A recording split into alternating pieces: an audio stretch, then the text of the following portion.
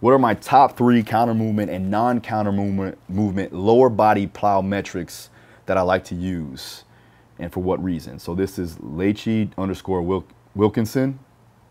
So my top three, I mean, I don't have like a set three, but I'll give you these. So I, obviously the easiest one would be a box jump. That's either counter movement or non-counter movement.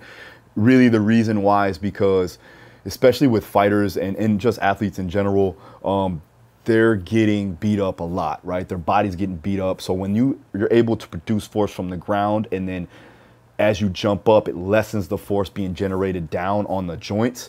Um, I like that just from a performance standpoint. Obviously, you're increasing rate of force, you're increasing the stretch shortening cycle depending on if you're counter movement or non counter movement.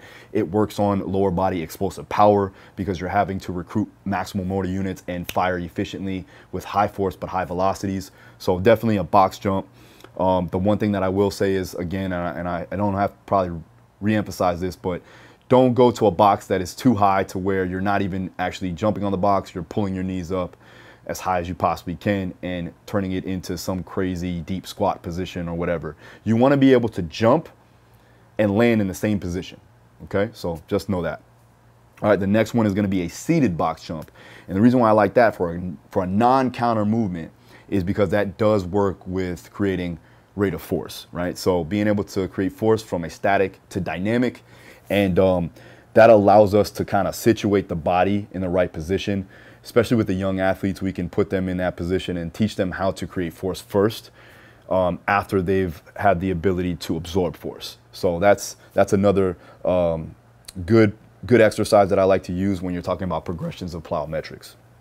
Okay, last one is going to be hurdle hops.